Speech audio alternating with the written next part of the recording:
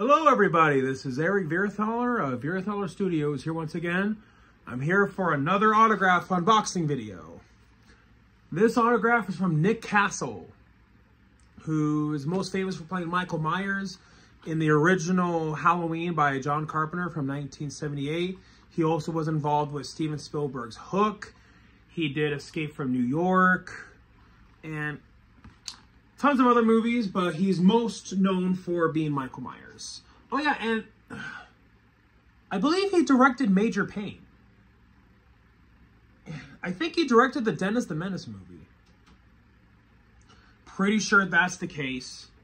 But yeah, interesting. He went for being Michael Myers, one of the most horrifying characters in movie history, to directing Major Payne, which a lot of people say is one of the funniest movies ever made. I remember when I was a freshman in high school was the first time I saw Major Payne. I was on the bus.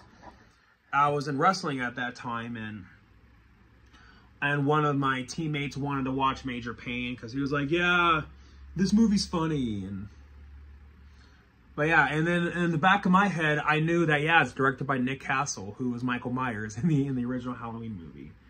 Interesting, but hey, you know, I am definitely glad for Nick Castle that he got to have a shot at directing some mainstream movies.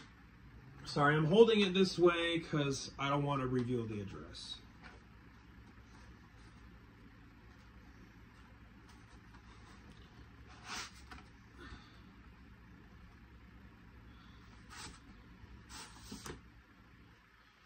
Oh gosh, here we go. I've been waiting for this for a while. Here we go.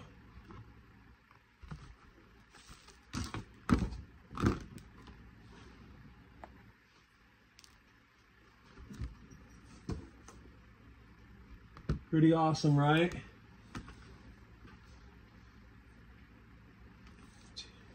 To Eric, Nick Castle, Michael Myers. This is so awesome a lot of horror fans have, as far as I can tell, a lot of horror fans have an autograph from Nick Castle. And I wanted an autograph from him for the longest time. I, I remember when me and my dad went to Las Vegas, I saw that there was also a signed knife from Nick Castle and like pictures of Halloween there. It was crazy expensive. I don't remember how much it cost, but it was crazy expensive. I will never forget being there. Like, if I had the money, I would buy that.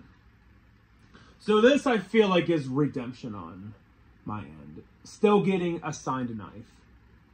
So yeah, uh, it will look great with my Don Shanks signed knife, my Roger Jackson signed knife. But yeah, pretty awesome, right? So, uh, but yeah, and Nick Castle even got to reprise his role for a cameo, but still reprise his role nonetheless in Halloween 2018. And he had a cameo in Halloween Ends. And his cameo in Halloween Ends was a reference to PJ Soles by saying, see anything you like? So yeah, pretty awesome. I don't want to make this video too long. I don't want to take up too much of your time. Thank you all for watching. Uh, you all have a fantastic day. Take care. Bye-bye now.